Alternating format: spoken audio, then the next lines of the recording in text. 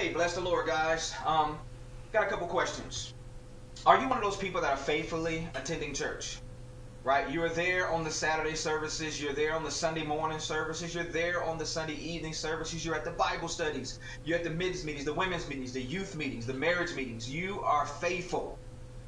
Not only are you faithful, but are you one of those that are active, right? You are using your gifts and abilities to be a blessing to the body right? But recently, what has happened is that you have noticed some things that are off. You've noticed some things happening that don't seem to line up with God's word. And not only are they not lining up with God's word, but they're actually contradicting God's word. And that is begin to get you in this place where you are a bit concerned. And so you begin to kind of step back a little bit. And not only are you stepping back, some of you have actually gotten to a point where you've actually begun to stop attending services. Listen, and you have found this video, um, you are going to be blessed by the information that I'm going to share. In this video series, we're going to be talking about the church that Jesus built. Okay, it is my goal in this message to share with you some things that uh, can help you through this process. Maybe they will help you be able to take some information, uh, uh you know, to go and you know back to the fellowship, back to the church where you were going, and, and, present this information to leadership, and maybe they'll change some things up based on the information that you are, have now learned and that you'll share with. Maybe that's not the case. Maybe you will find yourself uh, having to continue praying and seeking God to lead you to a place uh, where things uh, more line up with God's word, or a place where uh, at least they line up with the convictions that you now have. So, my goal here in this video is to talk about the church that Jesus built. Okay, you've heard me say this before that we will never be the church that Jesus built if we do not forsake the church that man has built. Mm-hmm. Okay, so you guys stay tuned with me on my journey, and we are going to dig into this with a few series, video series talking about the church that Jesus built. All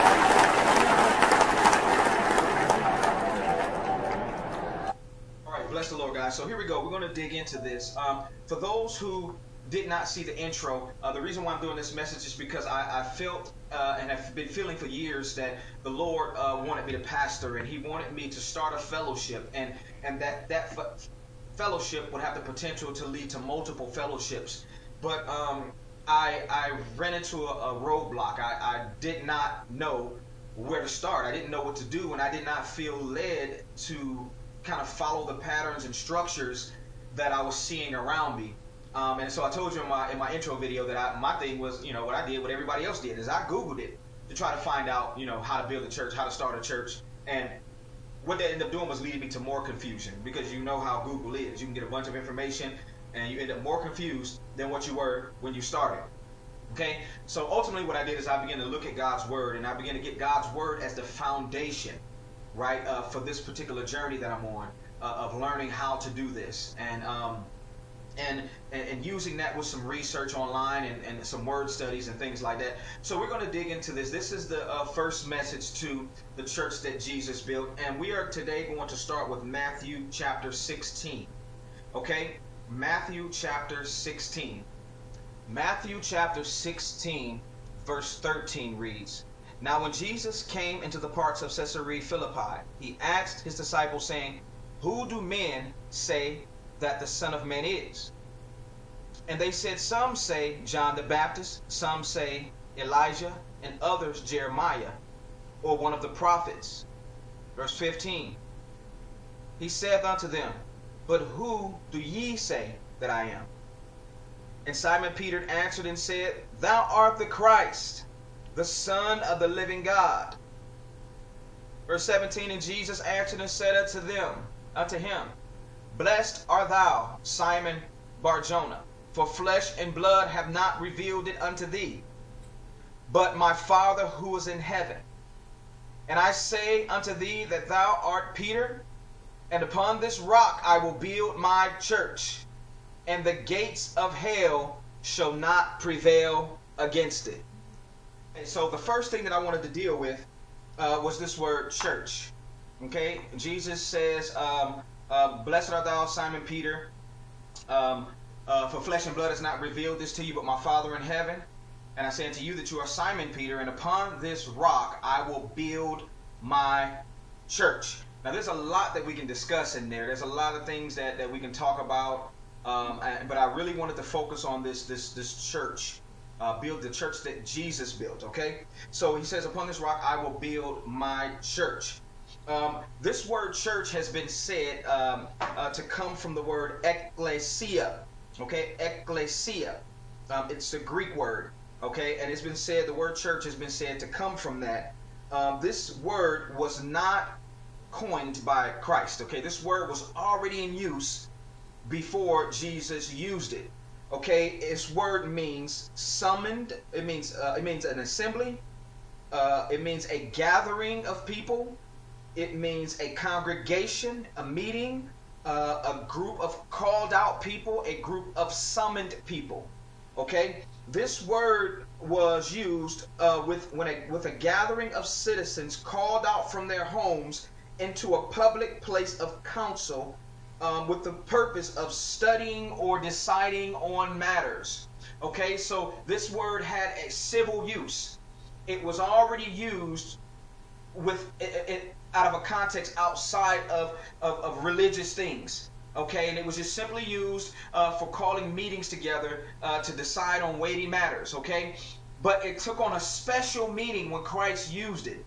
Okay, it took on a special meaning, and he said, Upon this rock I will build my ecclesia. So Christ is letting us know that he is building something, and it's an ecclesia. It is a group of called out people. It is a group of people who have been summoned by him.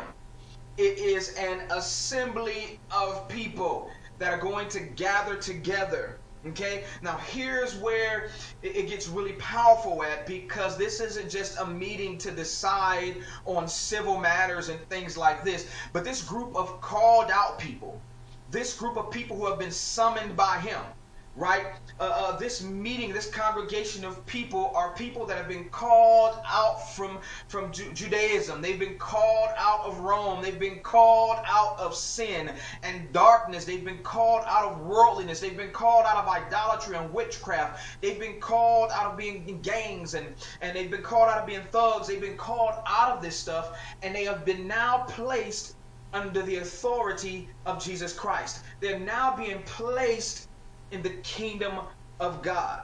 Okay, this is this is very powerful. The first thing I want to bring out is the fact that they've been called. They've been summoned. Right? This this ecclesia is not a gathering of just anybody and everybody. You know, yeah, I know that it's a common thing today for our our worship services to be public and we open the doors to anybody and everybody who wants to come come all come all come all. And but but it, it, this word ecclesia shows us that this was a calling of something different. That this this gathering was a group of people who were now who have made whose desire I'll say it like this whose hearts have been changed whose lives have been changed whose thinking is changed, whose desires are changed, and they are now being summoned, they've been called out, they've been chosen to be under the authority, the kingship, the lordship of Jesus Christ. This is not just to anybody, uh, anybody come, one come, one all come. This is this is this is uh, people being called, people who are whose whose hearts have been changed and lives have been changed, and we're gathering together to worship our King. We're gathering together to honor our King. We're gathering together to learn how to live as our King wants us to live. People were being called from under the authority of Caesar to come to be under the authority of Christ. Now, this isn't some rebellious thing where people um, uh, were, were, taught. Uh, were taught to um, uh, forsake uh, the, the governmental laws and all this kind of stuff. That's not what we learn because in obeying Christ, we obey the laws of the land as long as those laws of the land don't contradict the laws of the kingdom right? If they contradict the laws of the kingdom, if they contradict uh, Jesus' words, right, we'd much rather be imprisoned. We'd much rather be in death, uh, uh, be put to death, than to go against uh, or, or, or, be, or contradict our king. This is important. So, this word ecclesia means something special. This word ecclesia is a group, to reiterate, this word ecclesia is a group of, of people who have been called out of darkness. They've been called out from other religions. They've been called out from idolatry, other beliefs, other practices. They've been called out from ungodly thinking, and they're now been placed under the uh, authority of Jesus Christ to learn his ways. right? To teach his ways, to learn his ways, to, to grow in him, to grow in his likeness, and learn how to present that to the world, right? This is not a, a public thing where everybody comes, right? That's a different service.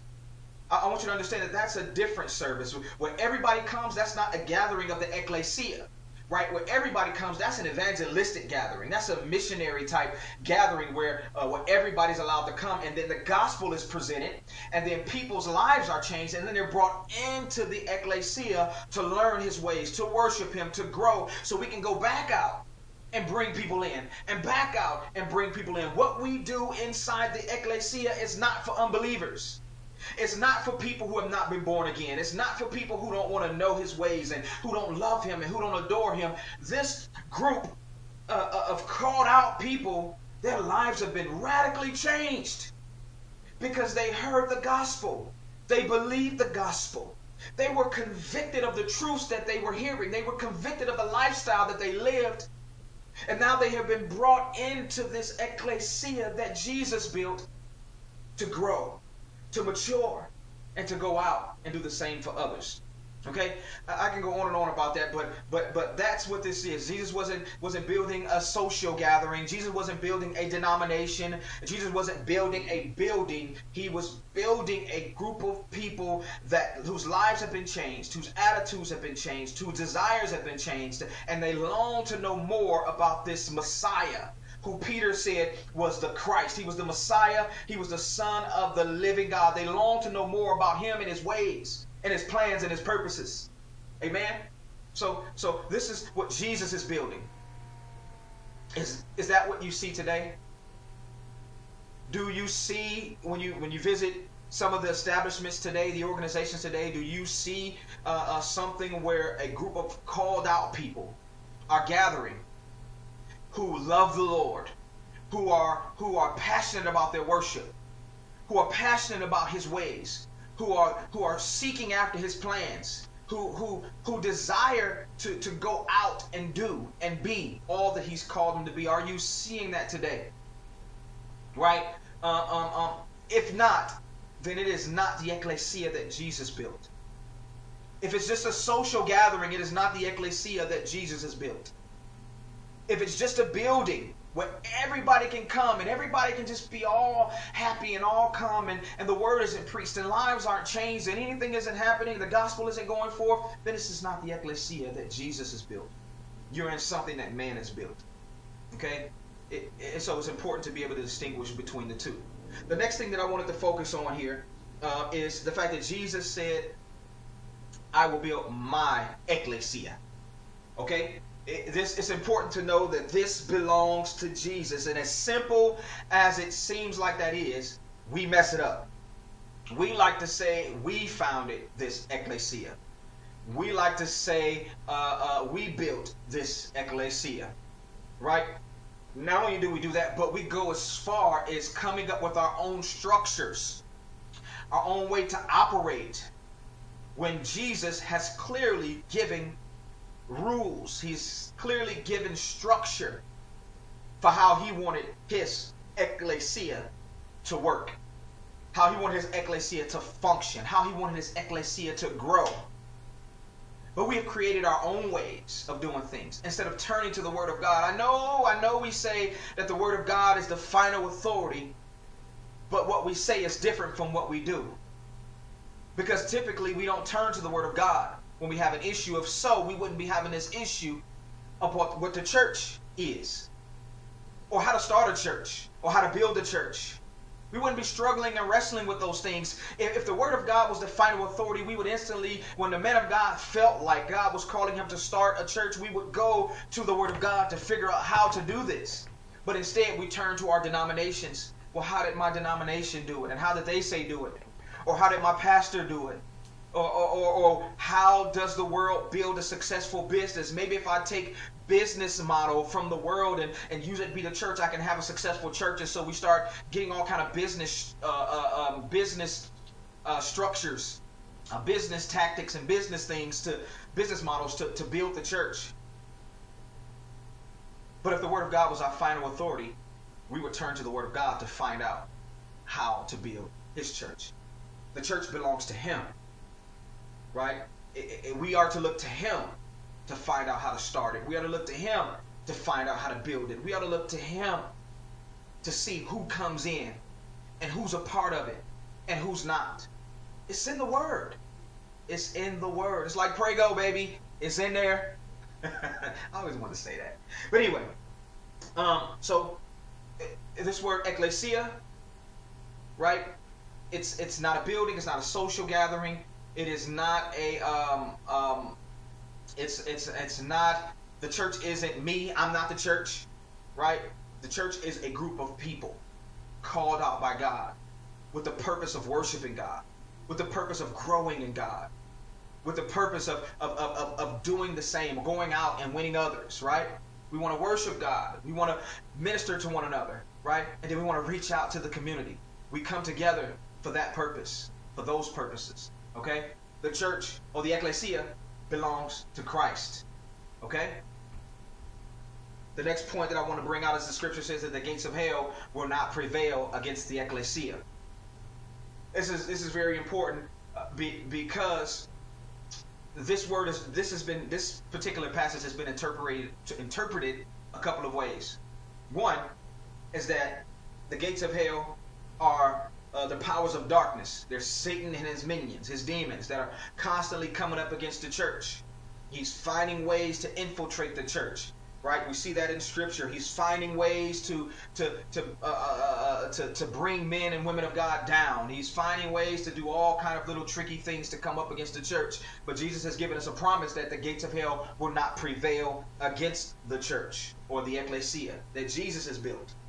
Okay. The other way that this has been interpreted is that it is simply death.